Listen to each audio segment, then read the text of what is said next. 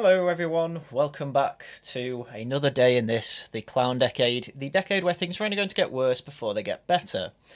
However, despite what the title of this video is about Richard Dawkins lamenting the fact that he's helped kill Christianity, I actually think that there's quite a large white pill here, in that many people now seem to realise that the loss of Christianity has actually been detrimental to Britain and largely the rest of the West. And new atheist types all over seem to now start to realise that, well, Nietzsche's phrase, nothing is true, everything is permitted, really does mean that if there is no objective morality, people will believe anything is permitted and they will create their own awful type of their own morality, where we've ended up in a world that seems to be absolutely filled to the brim with pride and envy, which are both sins that are against the Ten Commandments. I mean, for those people that don't know, I am a Christian, specifically a Catholic, but I don't particularly talk much about religious issues at the moment because I always used to think I'll follow my religion, other people can do theirs.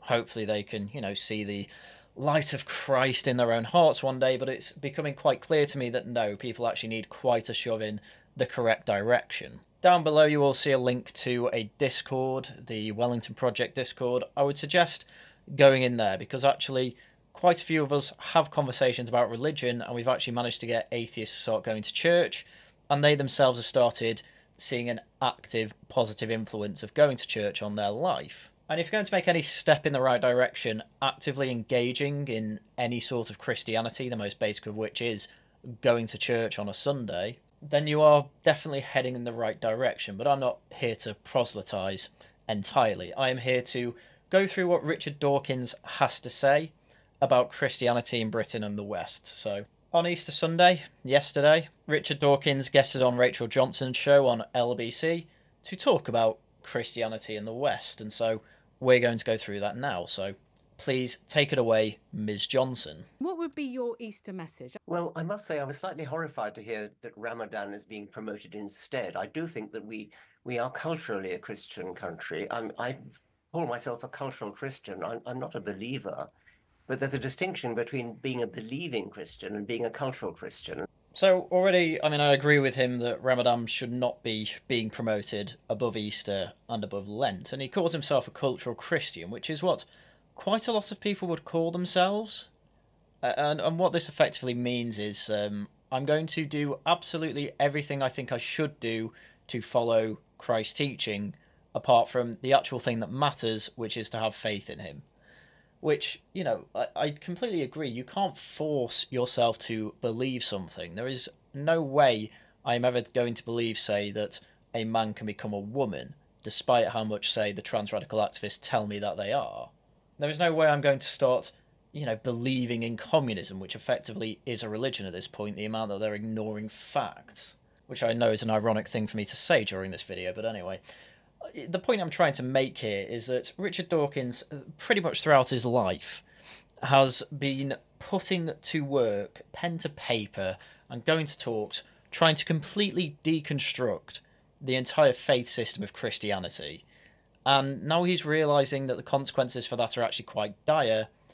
He's not quite regretting it, but he is saying, oh, why can't we have all the nice things from Christianity without the silly belief? And the reason is is because it was the belief that created all this. That is exactly where it all developed. From the time over Easter, as we know, Jesus died on the cross and then resurrected, and then there have been numerous martyrs who, in the first century, pretty much all died for what they claim to have seen. Uh, they say they saw Jesus die on the cross and then get resurrected from the dead. They saw him back to life. That is what they believe, and they died for that reason. And they made that quite clear, and this is well recorded. And from there, it developed obviously to popes in Rome, spreading Christianity throughout the Roman Empire to the far reaches of Europe, into Africa, into parts of Asia as well. And it is effectively what the entire Western world is based upon. Until then, you get around the 19th century and beyond, and people start to deconstruct it. You have all the atheist experiments in Europe in the 20th century, they don't seem to go particularly well. What countries tend to do best? It's the Christian ones. And the problem with Dawkins is, is that he wants all that without the actual core of it. And it doesn't quite work, and he doesn't quite realise that. But I suppose he's so old at this point, we're going to have trouble trying to teach him new tricks. But I will let him continue his message. So, you know, I, I love hymns and Christmas carols, and um, I, I sort of feel at home in the Christian ethos. I feel that we are a Christian country in that sense. Yes, correct. The Church of England is the state religion. It will hopefully always be the state's religion. And it is where a lot of our culture does stem from. It does stem from Christian charity, it does stem from doing Christian work. I mean, one of the largest things that the empire did was send out missionaries. I mean, for God's sake, the whole reason that the British Empire finally came round to the idea that slavery was bad was because of the work that Christian sects did. William Wilberforce and the Clapham sect. They put together Christian arguments against slavery and managed to get a petition signed that was over a mile long to Parliament. And eventually, obviously, in 1833, they sign off the Act of Parliament to make slavery illegal in the Empire and in the Atlantic as a whole, because we had dominance in our navy throughout the entire world, and we were actually able to stop slavery because of that. And then when David Livingstone managed to get over to East Africa, where it wasn't particularly well explored, he found slavery there, let the British government know, and then they took out slavery in East Africa as well. All because of Christianity. And I know what a lot of atheists are going to say. Uh, oh, well, couldn't we just do all this without Christianity? I mean, under Christianity, we had slavery as well. And this is just ignorant of how morals evolve over time. The long and short of it is is that effectively in Christianity, the laws of man are the laws of man, and you should follow them as much as you can while still being able and actually doing the work to keep the faith in Christ. You know, going to mass, praying, all that sort of thing. So slavery was what Africans did, and it's what other empires did to be part of the Atlantic Triangle. And obviously, you know, it took about 200 years but Britain became aware of the horrors and, as I say, used Christian arguments to say slavery is illegal, as it had been done in the past. Slavery was illegal in the British Isles since William the Conqueror came over, again, due to Christianity. Alfred the Great, when he was writing the initial common laws of Britain, he basically took it all from Genesis and Exodus. It was all laws from the Old Testament. This is how influential Christianity is. It created our laws. And now we've moved away from that. What laws are we making? Absolutely everyone has to be equal. Oh, if, if men are paid more than women on average, you can sue entire councils for it. it. Nothing to do with Christianity, all to do with this atheist offshoot of liberalism where people don't understand what equality is. We are all equal under God. That does not mean we are equal to each other. Basically, what atheists or Western secularists need to understand is that this is the truest meme I think I've ever seen in my life. What has effectively happened is people like Richard Dawkins have been born into this world that is absolutely dripping in Christianity and Christian morality.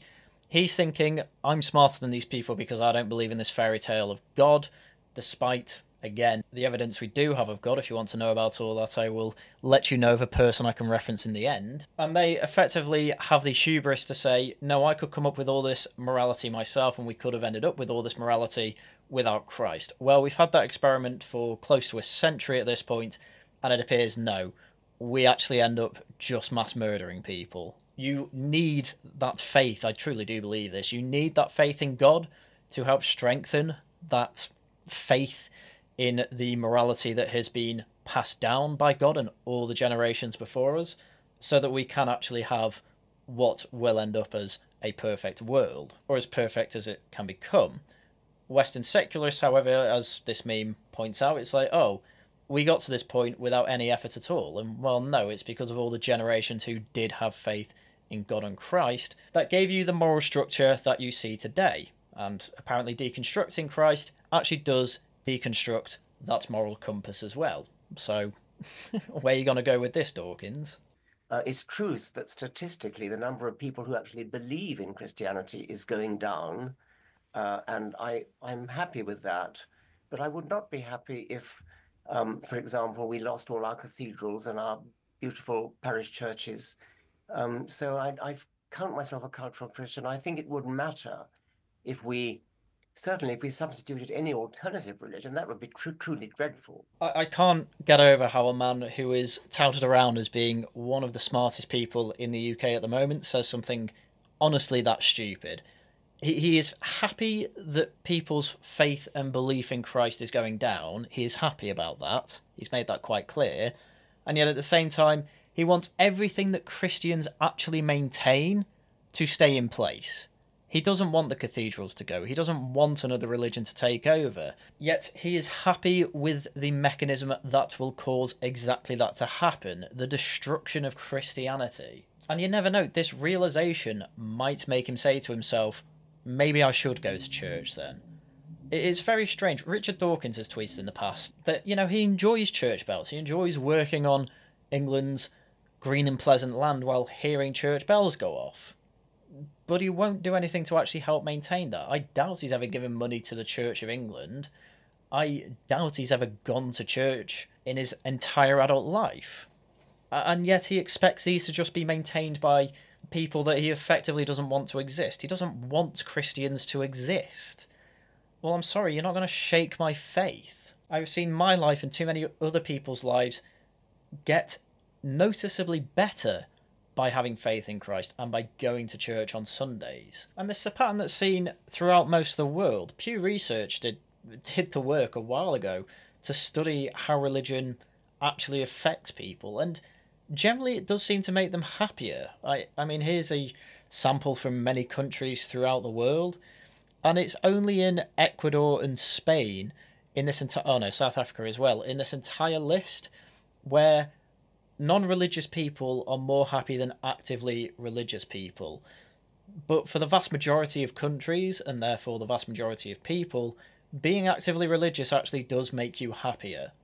There, there seems to be something with that. And some people cope and say, oh, well, it's the community aspect and things like that. No, no, it's not, because these inactive people also go to community centres and do charity work and things like that. It genuinely, we have a religious shaped hole in us and that needs to be dealt with in one way or another, otherwise, you are literally going to believe in anything.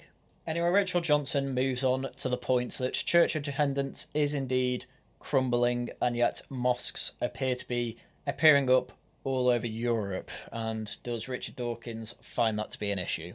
Yes, I do really. I mean, I, I, I, I, I don't. I, I choose my words carefully. I mean, I if I had to choose between Christianity and Islam, I choose Christianity every single time. Well, hopefully it's not too late and you can actually make that choice because I think that is going to be the choice in the end. Because uh, atheists, because they don't have a faith, they will probably actually find it easier to just convert to Islam if they feel like they're forced to. And I suppose this is the thing with Christian countries. We've given everyone the choice, and so everyone has chosen to be lazy and it's just made it far too easy for another religion to take its place. What I'm basically saying to Richard Dawkins is if you're a cultural Christian anyway, uh, if the only blocker is actually your belief in Christ, the best thing you can do, and to keep churches going, by the way, is just going to church once a week.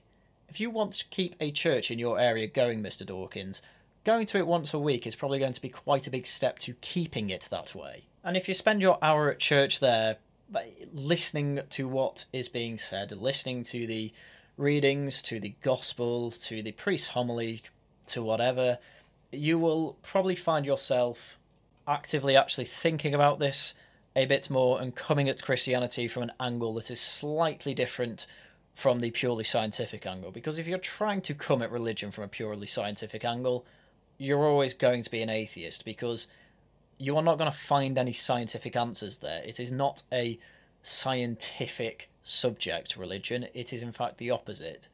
You need to let your empirical mind go quite a bit because that's all science is it's empiricism, it's inductive reasoning. Whereas religion and Christianity do not rely on that. Uh, so if you rely on that alone, of course you're not going to see anything. I mean, it seems to me to be a, a fundamentally decent religion um, in a way that I think Islam is not. I think you're going to have to explain why you say that. I mean, Richard Dawkins has been cancelled before over his uh, issues with the trans community, so I don't, I don't know why he's trying to pick his words carefully, unless he thinks he's going to be you know, having the threat of being beheaded over this, which, you know, as I say, you kill Christianity in the country, another religion's going to take over from it. If it wasn't going to be Islam, it was going to be communism. because religion's always going to have to exist.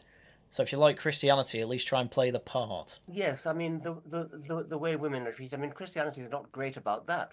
Uh, it's had its problems with female vicars and female bishops and things.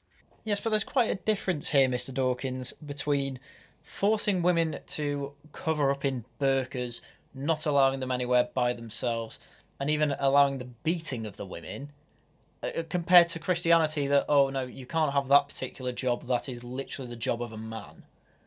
Which, uh, there's plenty of reasons to actually keep that tradition going. And if you're so bothered about there being women vicars, oh, bully for you, the Church of England has women vicars. Go to a Church of England church. But there's an active hostility to women, which is promoted, I think, by the holy books of Islam. I'm not talking about individual Muslims, who, of course, are uh, quite quite different, but the but the doctrines of Islam, the Hadith and the and the Quran, is fundamentally um, hostile to women, hostile to gays, over the years, I've heard Richard Dawkins talk about Christianity and really comparing the way he talks about Christianity compared to Islam here. I mean, even here, at no point during his talks about why Christianity is bad does he have to sugarcoat the, oh, other religions are bad too, by the way. No, he just says Christianity is bad for X, Y, Z reason. As soon as he talks about Islam, it's Christianity has its issues.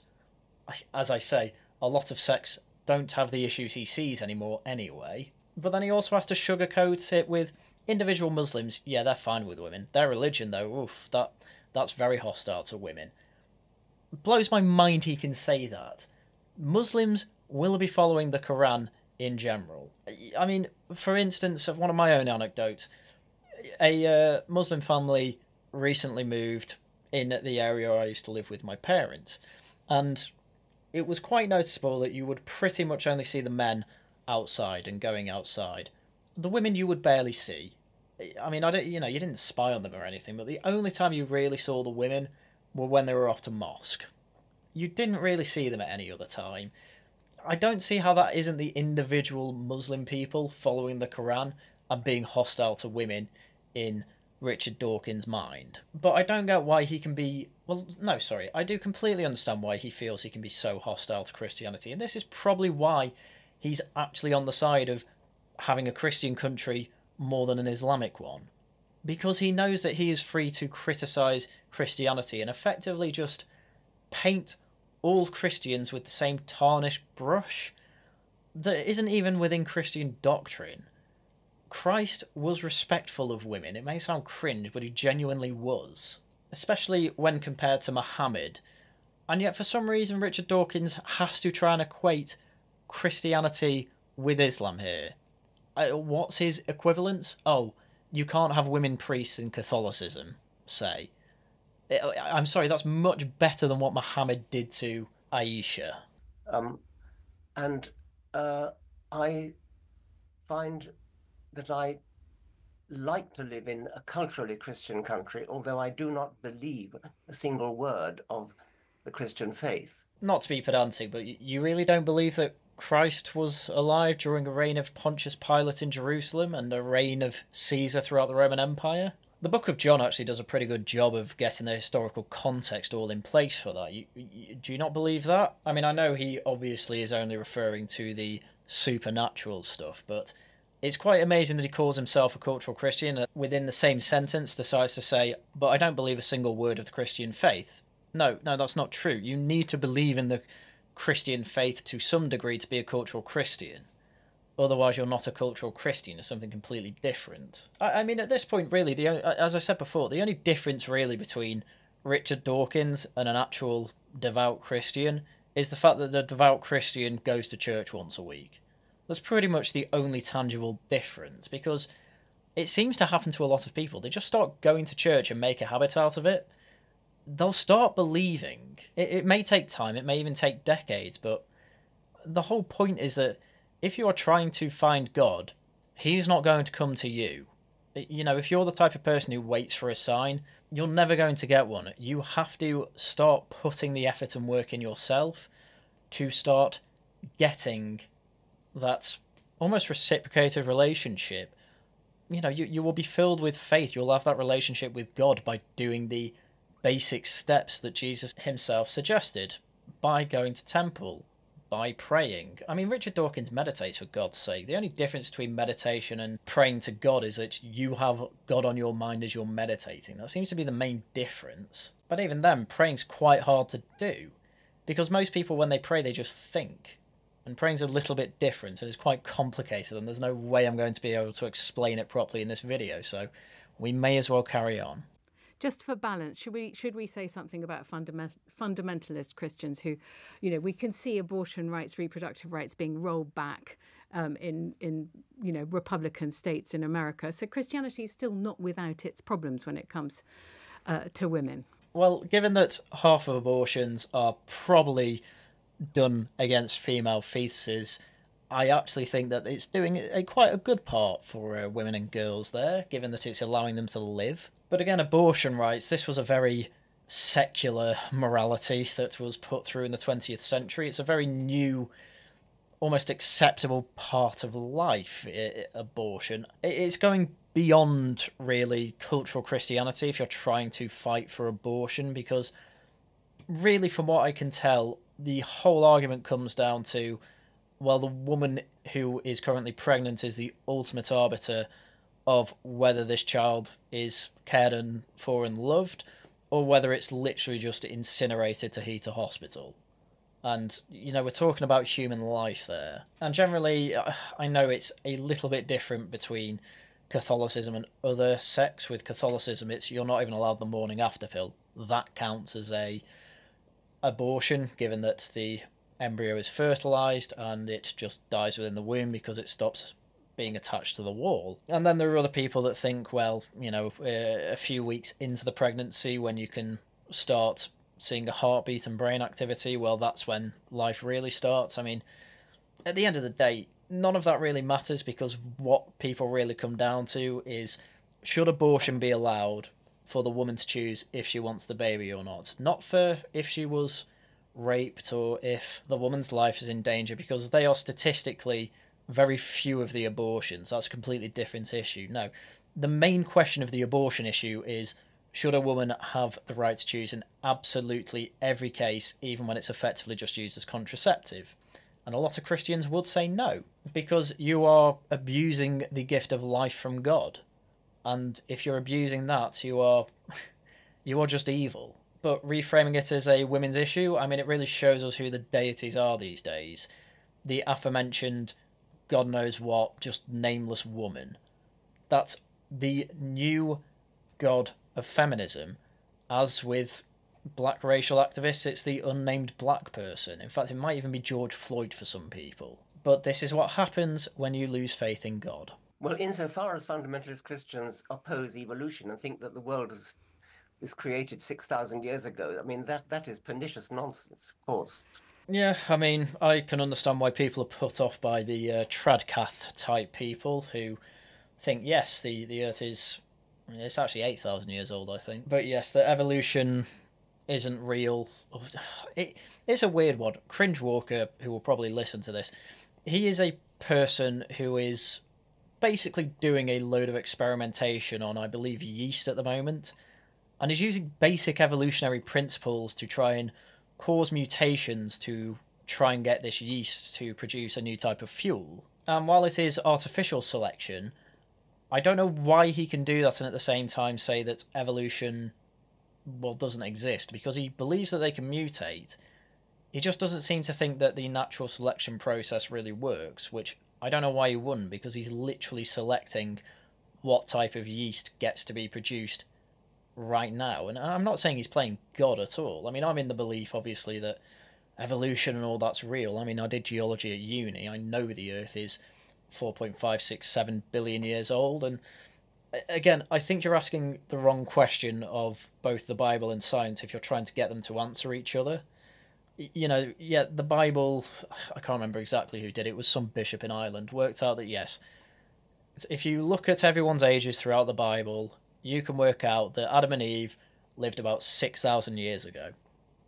Now, I'm of the opinion that Genesis is more a metaphorical myth than it is actual reality.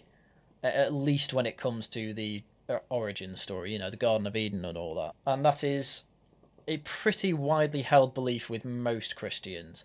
Yes, God did create the earth, but it was all done through natural processes.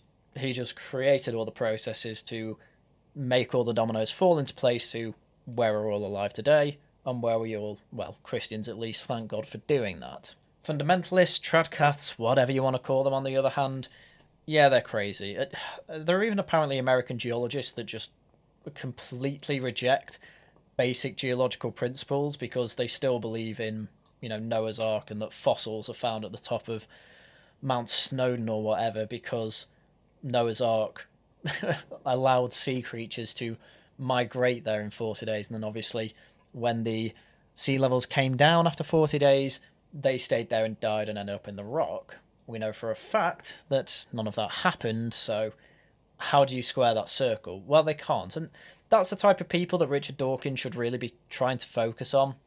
But he didn't. He went after Christianity in general, despite the fact that he seems to think that Christianity is actually very, very reasonable. But he's lamenting the fact that he has helped destroy Christianity. And now the Christian hallmarks that we see throughout public life are going. Well, of course they're going. You don't want people to maintain it. Or if you do, you want them to maintain it for, what, a sense of tradition? The reason people have a sense of tradition is, I truly believe this, because of God, because of the shared religion that we all have. If you get rid of that, you know what what's happened in the 20, 20th 21st century? The non-believers are deciding that the best use of their time is to just completely attack british history. I mean otto english has recently done a tedx talk about fake history that i'm going to go through and it's just going to be nonsense again but they don't care because they don't care if they tell lies they don't care if they're wrong all that matters to them all their morality is is that Britain has done bad things in the past, therefore the British people must be bad, therefore I need to attack them in whatever way I can. Attacking their history and even the myths of their history seems to be the best way to do it because, yes, history does get mythologized. Of course, bad things happened in the past. Of course, Winston Churchill did some bad things. But that's not why people venerate him. They venerate him for the good things he did. But that doesn't matter to these people. Anyway, Rachel Johnson moves on to ask Would it be bad if we had less Christians and more Muslims in the country? Well, yes. Uh, um, I think the king, when he was Prince of Wales, was actually rather sympathetic towards Islam, and one of the problems I felt. Um, no, I think it would be a, a terrible thing.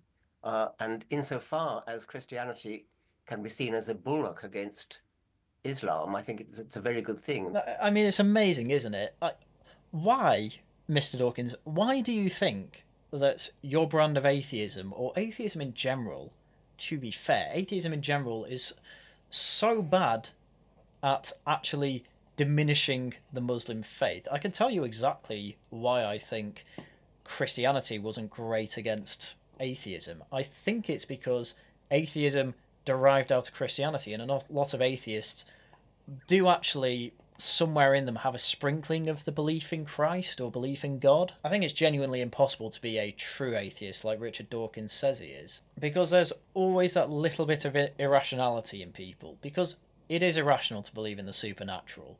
I can completely understand that. There's no rationality behind it.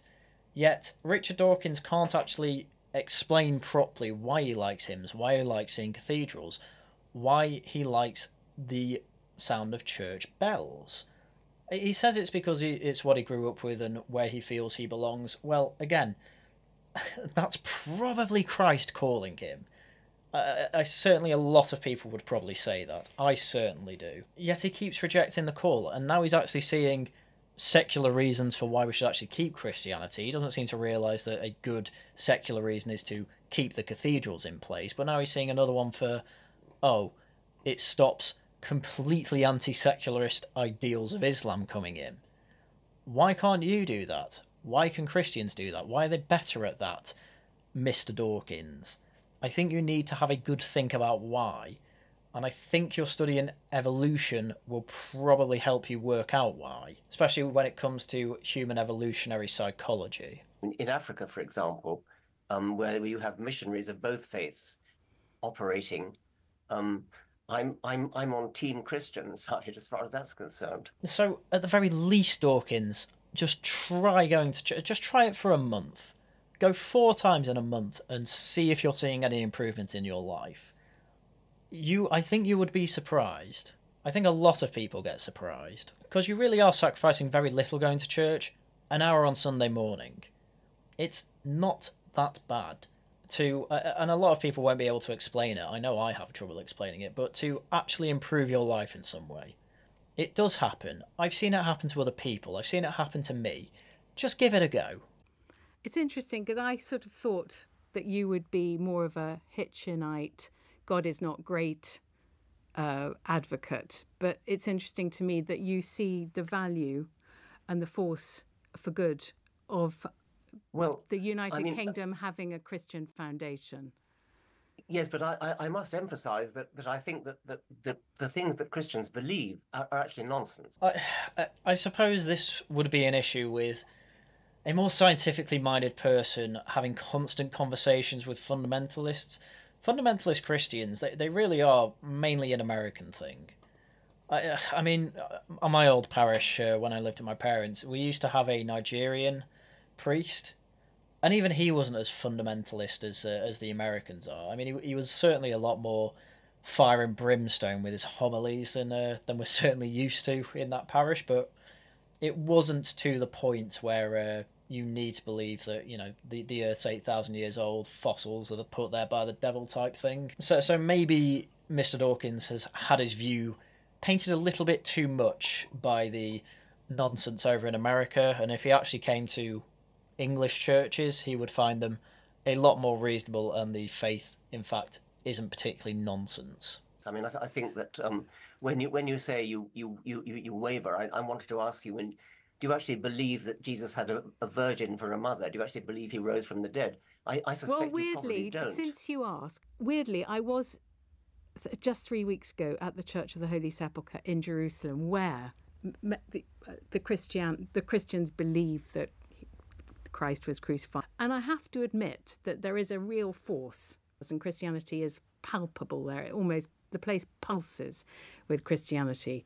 But I certainly felt that Jesus was a historical figure. Yes, I, I did believe that. Well, So I'm actually quite impressed she's uh, willing to share that. But what Ms. Johnson had here was a genuinely religious experience, and when you have one of those, I've had a few of them. I've been to pilgrimage to Lourdes, I've been on retreat, and you you can certainly have them. And the most common way, actually, that uh, atheists convert to some form of religion, including Christianity, is uh, taking DMT. I, I mean, I've never taken it. I'm never going to take it. But plenty of studies have been done that people who have taken the psychedelic drug DMT do actually start believing in a in a higher power, and these can really change your life. I mean, if you don't take DMT and just have the religious experience, it can be a little harder to really know what to do with yourself. But as Rachel Johnson says here, she probably did feel some sort of connection to God, but doesn't really want to say that because she is part of the new elite and being any sort of religious person in the new elite is quite cringe. So I think she wants to say, yeah, I did believe a bit in God, but not say it to Richard Dawkins because that that invites quite a lot of criticism from Richard Dawkins, and I just don't think she wants it for this show, which I can understand. No, no, I mean that's that's quite different. But do you believe that his mother was a was a virgin? Well, I mean, maybe You- that was a you don't, do you? mistranslation of. Well, that's biologically impossible, isn't it? Of course it is. Yes. Yeah, yeah, it is. That that's kind of the point. Jesus did the impossible. The whole point is that he revealed he could do these impossible things to have people believe in him, believe he was the Son of God. That was the point. And that's why pretty much every apostle, apart from maybe Judas, died as martyrs, saying to people, No, I saw Jesus resurrect from the dead. He is the Son of God you must convert to Christianity. And obviously, if they don't, they move on. But still, an awful lot of the time they run into people that said, no, you can't say that. This is the higher being. If you are saying there is a another being higher than it, which is God, then we're going to kill you. And they said, no, this is what I saw. I have full faith in Jesus Christ. Do what you have to do. And, you know, St. Peter was crucified, others had arrows stuck in them. These people died for what they saw I, as I said at the start, it's well recorded, and realizing this is, I'd say, what helped me bring bring me closer to Christ and God. Knowing that there were people that literally saw this and died for it, because there are very few people in the world that would die for some sort of lie, especially a ridiculous one. But no, they die for something that absolutely nobody is going to believe, which is that someone rose from the dead. And when 100% of people who eyewitnessed it and died for spreading that word are doing that, I mean, not one person, at least that we know of, saw Jesus and didn't die for spreading the word that he resurrected. Again, Richard Dawkins would just say, Oh, you believe in all this? You're an idiot. Well, yeah, I do. And I don't think I am because of all the other evidence that you appear to be ignoring. I mean, yes, people misremember things, but people don't particularly die for things they misremember, as I say, especially when the multiple accounts seem to be saying very similar things. I, I don't want to be misunderstood. I mean, I, I do think it's nonsense, but uh, but um, the, the, the Christian belief. The, I mean, today is Easter, and and of course, I don't believe that Jesus rose from the dead, and I don't believe you do either. Um, do you? Uh, I mean, yeah, yes, I do, but it, again, it almost feels like a sort of soundness ceiling at this point from Richard Dawkins. He's been doing it for so long. No, I want to make it absolutely clear to everyone. I don't believe in this ridiculous, impossible miracle. That's obviously ridiculous. I, I guess well done. You're like most people who weren't Christians throughout history you know, this, this isn't a new revelation. It, it's the type of thing you could say and think you are higher than everyone else about if you live in a country that is ridiculously Christian. But at this point, as, they said at the start, Christianity is losing numbers in Britain. And, uh, yeah, saying that a man died on a cross and then rose again three days later, you know, Muslims don't even believe that. They believe Allah came down and took Jesus off the cross and took him to heaven because no prophet can die. Yet nobody witnessed that. In fact, people witnessed the opposite. They witnessed him literally dying and having his side speared by a lance to let out blood and water, which to a lot of physicians indicates that Jesus died of a heart attack. So, yeah, everyone was pretty sure that he died, and then people literally died saying that I saw him rise from the dead. I, not just one or two people, this was hundreds. So either Christianity is one of the most ridiculously large and pointless conspiracy theories we have ever witnessed in our life, or it really happened. They are kind of the two choices I have come down upon when I've started to look into this a lot more meticulously in my, you know, older age after I left uni. And it seems a hell of a lot more reasonable to me that, yeah, God exists and Jesus really did die and resurrect than it does that it's all just one big conspiracy theory. Despite the fact that I understand it is the completely rational position to think it's all malarkey. Again, Richard Dawkins isn't. He, he always looks smug when he says it, but it's nothing to be smug about. He's just like the rest of human history. Do I believe that Jesus rose from the dead? I mean, you're really putting me on the spot. I would like to believe he did. Yes, I, I mentioned yeah, the resurrection. Different. Again, got to feel quite bad for Rachel Johnson because, yeah, I imagine she is slowly actually c- coming around to the realization that she probably should go to church every week and have faith in Christ, which is quite a nice thing about this interview and actually a kind of white pilling moment. I think we are going to see again more people going to church in the near future. And I think a really big reason for it is simply, uh, and it might not be the best reason for people to go, but I think it is simply because people are seeing secularism is inviting much worse morality and much worse religions into the gap that has been left by secularism. The experiment is failing. We can't have Christians, Muslims, Hindus, whatever, all trying to live together with each one trying to have an equal share in the religious views of the secular world. No, one has to come out on top. And as Richard Dawkins says, the arch atheist, Christianity needs to win that. And since people are starting to realise it, I don't think it's actually going to take much convincing that, well, the best way to do that is just go to church once a week and give a bit of money to the church and possibly even to charity as well. I started doing it. I recently moved to Wales and I decided I think it would be good to start a habit of trying to go to church. I, I think over the past seven months or so, I've become way more devout than I actually intended to be. I'm even starting to become a reader at my church simply because I, I don't want to dock, so I won't go into too much detail. but people at the church should suggested I do it. And well, this is the thing. Don't wait for a sign, just go. What that could be in a lot of people's minds, and in my mind included, is a sign from God. I have talent for public speaking. I've got five years of YouTube experience. I'm I'm quite good at pronunciating, at delivering messages, let's say. Why not do it for a congregation once every few Sundays? The church needs it. Why not do it and go in there as a below 30 year old? That's going to send one hell of a message, really, when you think about it. How many how many people below 30 go to church? It's like 1% of Zoomers go to the Church of England. It's probably more for the Catholic faith. But just like going to a bar and thinking, should I have a Guinness or not? The main way people are going to be buying that Guinness is if they see someone else having a Guinness. I'm convinced it's the same thing with church. If they see other people their age, not really caring if it's cringe or not, and just going to church, I think that's going to help other people be inspired to go. And hell, if I've inspired any of you to go this Sunday or whatever, do let me know in the comments. I, I want to know if uh, I've helped convince you or not. And if not, let me know why. Seriously, let me know why. Because I think we all agree that Richard Dawkins is right. Atheism does not give you a sufficient moral framework to refute other religions. You can literally only fight fire with fire in this case. Christianity is going to be the bulwark against Islam. And from what everyone's seen of Christian and Islamic countries, people would prefer fundamentalist Alabama to Saudi Arabian Islam. Yeah, they don't have much theft there, sure, but uh, women don't exactly enjoy living there. Unless they're tourists, but uh, the Saudi Arabians are fine with the tourists because they give them money.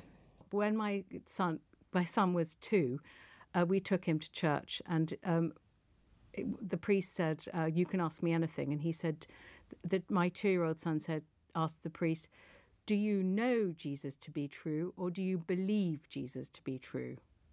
To be, and then, and do you see what I mean? And he couldn't answer that question. Well, we know it in the same way that we know an awful lot of things in history through hearsay, through chronicles, and all these things can be bastardized by humans, sure. But the thing is, what are things that historians all believe? Or should I say no or should I say believe? I'm not sure. H- historians, though, there is a consensus that Jesus was a real person, he was crucified on a cross. The resurrection side of things that's a bit more iffy because at most 500 people witnessed it. But even I would struggle to answer that. Do I know Jesus exists or do I just believe it? I, I think I just believe it. I don't know if I can for sure say that I know he existed. Or, sorry, I shouldn't say that. I know that he was the Son of God and rose from the dead. I certainly do believe it, though. But again, it's it's in the same way of you know, do, do, I know Socrates existed or was a great philosopher, or do I believe it? Because Socrates didn't write anything down; it was all written down by someone else. And is what they've written down exactly what he said? Well, that's going to be hard to say yes or no to. We're never going to know that. But obviously, it's a lot more reasonable that Socrates was a philosopher who talked about his philosophy than it is to believe that Jesus was the Son of God and rose from the dead. Obviously, one's more rational and a much more believable story than the other. But as I say, when enough people are dying because they've witnessed a resurrection, at some point my brain just switches to, yeah, it did happen then. It must have. No one is going to be that deep into a conspiracy that they all die for it. And I know you might have the example of, oh, what about all these cults that, uh, you know, drank the Kool Aid and whatever? Well, that was a bunch of followers who truly believed what their cult leader was saying and he was lying about his revelations from God and all this. Because, yes, all these people committed suicide under Jim Jones's instructions, but Jim Jones killed himself because, well, he was caught out in leading a cult that was aiding the Soviet Union, was effectively an enemy of the United States, and he didn't want to carry on like that. Which is a little bit different to God has revealed his wise teachings to me and he tells us all to kill ourselves, isn't it? Just one thing. Does it matter if Christianity is a minority religion in this country? I think it matters from a cultural point of view. That's a very clear answer from you, Richard Dawkins. Yes, but it's wrong. Why would people continue to be culturally Christian if they don't believe in the core concepts of the faith? Why would people do what they do without a belief in Jesus and a belief that God is good and that they should build these grand temples, these cathedrals, these churches in his name, to to write books about him, to write hymns about him, to to study him and understand him. Why why would people do it if he didn't exist, if they didn't believe in him? Why does it only matter from a cultural point of view? The answer for Richard Dawkins is because he doesn't like anything else. That's it. That's the only reason. Honestly, if Richard Dawkins was born under Islam, I have no doubt in my mind that he would have been an imam or, or an Islamic scholar. But the reason he's gone the way he has done in the West is because he has had the complete freedom to do so. And he bastardised that gift, unfortunately, and now he's reaping the rewards. Just completely this meme.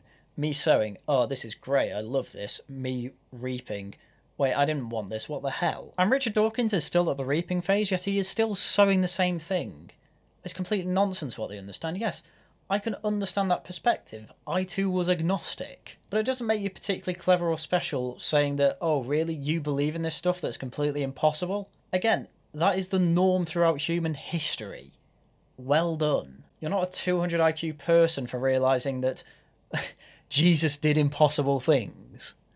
That that's kind of the point. He did impossible things to spread the faith and reveal himself as God. Anyway, if this hasn't helped and you've still managed to get this far, I have a small clip of a certain American pastor who has really helped me understand more of the answers to the questions I'm looking for when it comes to Christianity. The guy is called Cliff Knechtle, I think I'm saying that right. And he's a pastor who, since at least the 90s, has been going to university campuses in America, literally just having conversations with students about Christianity.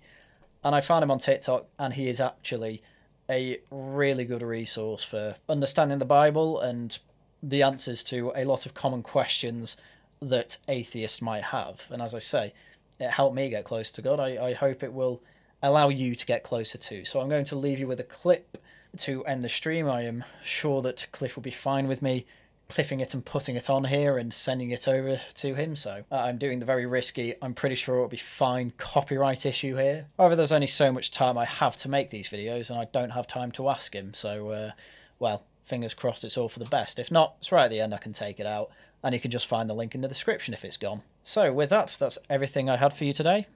So once again, thank you very much for watching. I hope you had a very happy Easter. We're all going to win. And until next time, goodbye. The eyewitnesses of the resurrected Christ died claiming they had seen him risen from the dead. They, what they died for. The Roman Empire instituted emperor worship, and the first century followers of Christ said, no, we cannot sacrifice to the emperor on an altar because Jesus is Lord. He has risen from the dead, and they died, not for a passionate belief. They died for what they claimed to have seen the dead Christ risen from the dead. Well, sure, but I mean, you were talking about Koresh and uh, Jimmy Jones earlier, Yes. and I mean, in both of those cases, there are plenty of people who died because they claimed that that this person uh, was essentially the same as as what Christ has been claimed. So just because people died for it, I don't see how that. Good question. The difference is the followers of Jones and Koresh did not die to cover up what they knew to be a lie. Your point, I thought, was historical fiction. They write this fiction totally aware of the fact it's fictitious. You will not get people to die to cover up what they know to be a lie. So in this case, I'm not saying that someone made up the story. What I'm saying is maybe they believed it, um, but just because they got a bunch of other facts right does not necessarily mean that that specific fact about about the nature of Jesus is is necessarily correct. Right. But you push the record back as far back as you can go, and you never come up against a non supernatural Jesus who died and stayed dead. Right from the get go. Those first century eyewitnesses of Christ claimed, We saw Jesus risen from the dead. Peter stands up on the streets of Jerusalem on the day of Pentecost and says, You killed the Christ, God raised him from the dead. So you don't have this myth that grows up around Jesus. Right from the start, the claim is he died, he rose from the dead, we saw it, you know it, this is the Christ we preach. Then those guys who talked that way stood before Roman soldiers, and the Roman soldiers said, Worship the emperor and you can live. Maintain that your Jesus is risen from the dead, that he is Lord, and we'll kill you for it. And every single one of them said, Jesus is Lord. I've seen him risen from the dead. and they died for what they claimed to have seen.